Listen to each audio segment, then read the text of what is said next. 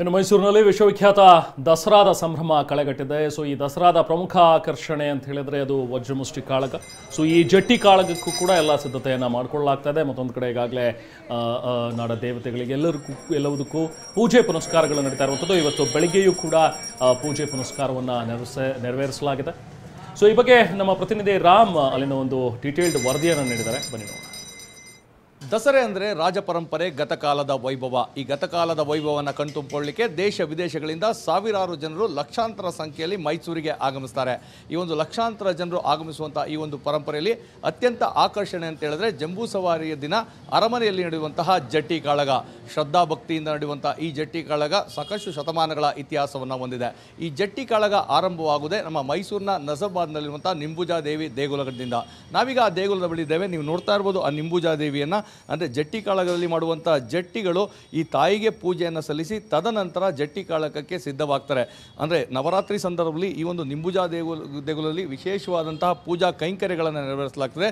ಅದರಲ್ಲೂ ಪ್ರಮುಖವಾಗಿ ಪ್ರತಿದಿನ ಒಂದೊಂದು ಅಲಂಕಾರವನ್ನು ತಾಯಿಗೆ ಮಾಡುವಂಥ ಕೆಲಸವನ್ನು ಇಲ್ಲಿ ಮಾಡಲಾಗ್ತದೆ. ಅಂದರೆ ಸಾಮಾನ್ಯವಾಗಿ ನವರಾತ್ರಿ ಅಂತ ಹೇಳಿದ್ರೆ ನಾಡ ಅಧಿದೇವತೆ ತಾಯಿ ಚಾಮುಂಡೇಶ್ವರಿಯ ಉತ್ಸವ. ಚಾಮುಂಡೇಶ್ವರಿಗೆ ವಿಶೇಷವಾದಂತಹ ಪೂಜೆಯನ್ನು ಸಲ್ಲಿಸುವಂಥದ್ದು. ಅಂದರೆ ನೀವು ನೋಡ್ತಾ ಇರ್ಬೋದು, ಇವ, ಈಗ ನೀವು ನೋಡ್ತಾ ಇರುವಂಥದ್ದು ವೈಷ್ಣವಿ ಅಲಂಕಾರ.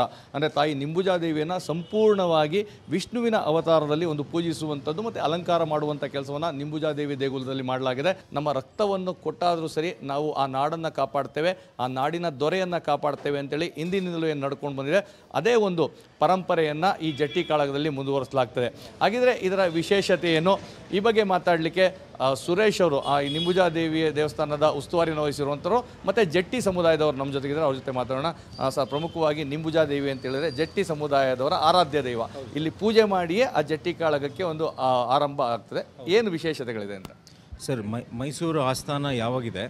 ಆವಾಗಲಿಂದ ಈ ನಿಂಬುಜಾದೇವಿ ಅನ್ನೋದು ಒಂದು ಪದ್ಧತಿ. ನಮ್ಮ ಜಟ್ಟಿ ಕುಲದೇವ, ಜಟ್ಟಿ ಜನಾಂಗದ ಕುಲದೇವತೆ. ಮೈಸೂರು ಆಸ್ಥಾನ ಒಡೆಯರವರ ಆಸ್ಥಾನ ಯಾವಾಗ ಬಂದಿದೆ ಮೈಸೂರಲ್ಲಿ? ಆವಾಗಲಿಂದ ನಾವು ಇದ್ದೀವಿ. ನಾವು ವಿ ಆರ್ ದ ಪ್ರೊಟೆಕ್ಟರ್ ಯಾಕೆ ನಾವು ಬಲಿಷ್ಠವಾಗಿದ್ದೀವಿ ಅಂತ ರಾಜರು ನಮ್ಮ ಅವರೊಟ್ಟಿಗೆ ಇಟ್ಟು ಇದೊಂದು ಪಂದ್ಯ, ವಜ್, ವಜ್ರಮುಷ್ಟಿ ಕಾಳಗ ಏನಿದೆ, ಅದನ್ನು ಸ್ಟಾರ್ಟ್ ಆಯಿತು. ಇವತ್ತಿಗೂ ಎಲ್ಲ ಜ್ಯೋತಿಗಳು ಇಲ್ಲಿ ಬಂದು ಸೆನ್ಸಾಡೋಕ್ಕಿಂತ ಮುಂಚೆ ಇಲ್ಲಿ ಬಂದು ಅಮ್ಮನವರ ಆಶೀರ್ವಾದ ಪೂಜೆ, ಪುನಸ್ಕಾರ ಮಾಡಿಕೊಂಡು ಅದಾದಮೇಲೆ ಅರಮನೆಯಲ್ಲಿ ಹೋಗಿ ವಜ್ರಮುಷ್ಟಿ ಕಾಳವನ್ನು ಮಾಡ್ತೀವಿ. ಇದು ನಮ್ಮ ಕುಲದೇವತೆ ಆಗಿರೋದ್ರಿಂದ ವಿಶೇಷವಾಗ ವಿಶೇಷವಾದ ಒಂದು ನವರಾತ್ರಿ ವಿಶೇಷ ನಮಗೆ. ಒಂಬತ್ತು ದಿವಸದ ದಿವಸದ್ದು ಅಲಂಕಾರ ಹೋಮ ಹವನ ಎಲ್ಲ ಆಗುತ್ತೆ ಸರ್. ಈಗ ಜಟ್ಟಿಗಳು ರಾಜಮನೆತಕ್ಕೆ ನಿಷ್ಠರಾಗಿರ್ತಾರೆ ಅಂತೇಳಿ. ಸೊ ಅದು ಏನು ಪರಂಪರೆ ನಡ್ಕೊಂಬಂದಿರೋದು ಅಂತ?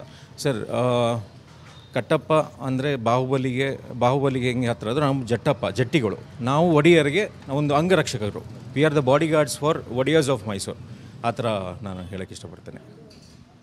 ಇದು ದೇವಸ್ಥಾನದ ಸುರೇಶ್ ಅವರ ಮಾತು. ಅಂದರೆ ಆ ಒಂದು ರಾಜನಿಷ್ಠೆಯಿಂದ ಇದ್ದಂತಹ ಜಟ್ಟಿಗಳು, ಆ ಜಟ್ಟಿಗಳ ಕಾಳಗ ಏನಿದೆ, ಅದಕ್ಕೆ ಕುಲದೇವತೆ ಆಗಿರುವಂಥ ನಿಂಬುಜಾದೇವಿ. ಹೀಗಾಗಿ ನವರಾತ್ರಿಯಲ್ಲಿ ವಿಶೇಷವಾದಂಥ ಪೂಜೆಯನ್ನು ಸಲ್ಲಿಸಲಾಗ್ತದೆ.